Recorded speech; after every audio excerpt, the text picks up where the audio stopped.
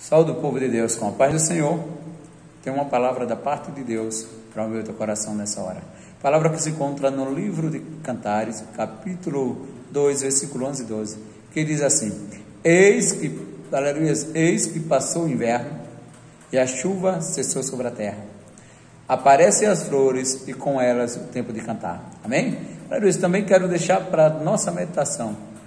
Atos Apóstolos, capítulo, aleluia, 16, versículo 25 e 26.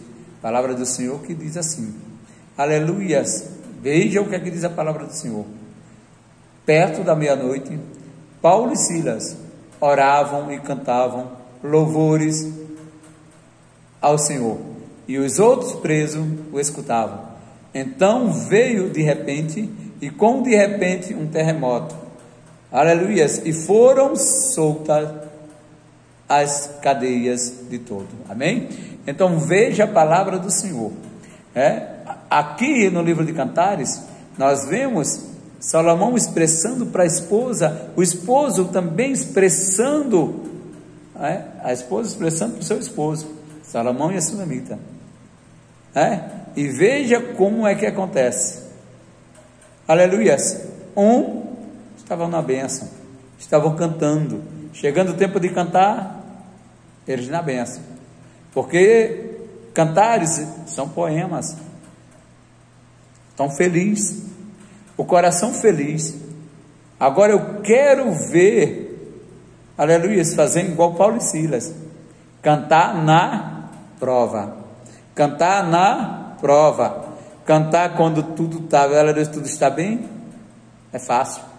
Mas vamos cantar na prova, aleluia, falar uma canção maravilhosa, cantando para uma esposa, aleluias, cheio de amor, coração cheio de amor, aleluia, cheio de alegria. É muito fácil fazer poemas e cantar para essa mulher, cujo qual ele amava, e também ela que amava a ele. Era muito fácil cantar, estava todos dois felizes estavam expressando do seu coração a felicidade. Mas Paulo e Silas, dentro de uma prisão, aleluia, dentro de uma prisão, qual o motivo que eles tinham para cantar? Não é assim?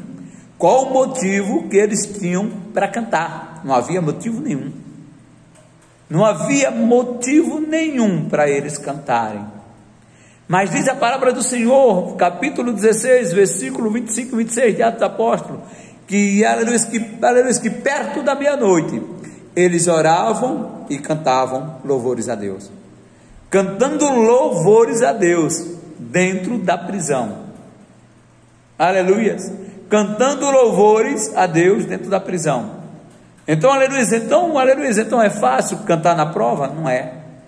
Aleluia, não é fácil cantar na prova, assim como o povo de Israel, aleluia, quando estava no cativeiro, aleluia, né, que até colocaram a harpa no salgueiro, e quando colocaram a harpa no salgueiro, disseram, aleluia, disseram até assim, como nós podemos cantar em terra estranha?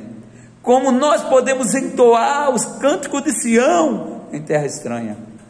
Não é fácil cantar na prova, não é fácil cantar, aleluia, na prova, na luta, não é fácil cantar.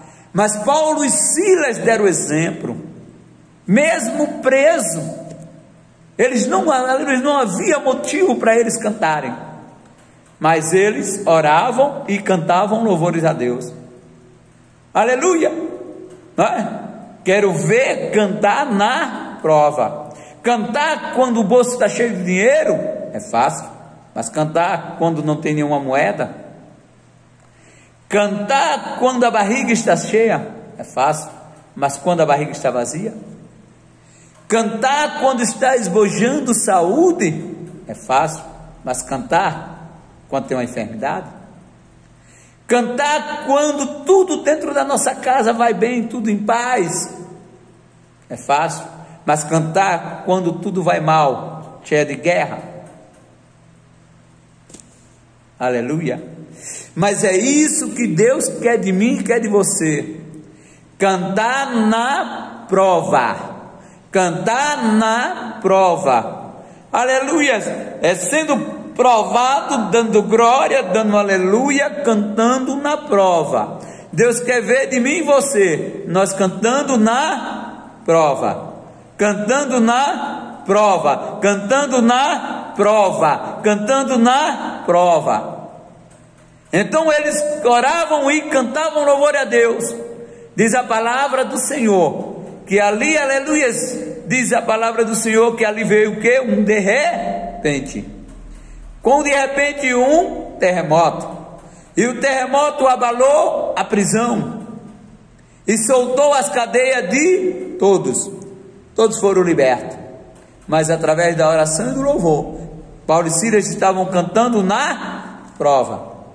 Cantando na prova, cantando na prova, amém? Aleluia, cantar na prova. Eu sei que não é fácil, mas é o que Deus espera de mim e de você, cantar na prova, aleluia, cantar na prova, cantar na prova, amém? Então que Deus venha abençoar a tua vida, abençoar a minha vida, guarda esta palavra no teu coração em nome de Jesus.